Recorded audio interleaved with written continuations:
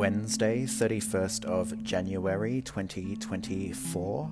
Gardening job, pulled a lot of weeds, nice chats with the usual crew.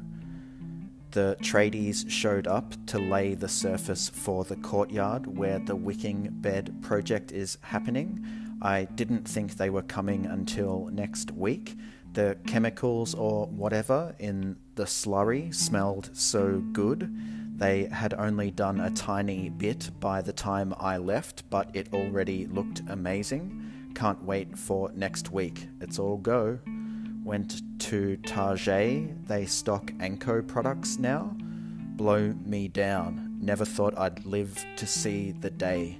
Got some tumblers did some gardening at home, mowed the lawns. I wanted to work on the harp and stuff, but it was too late to be sawing and hammering.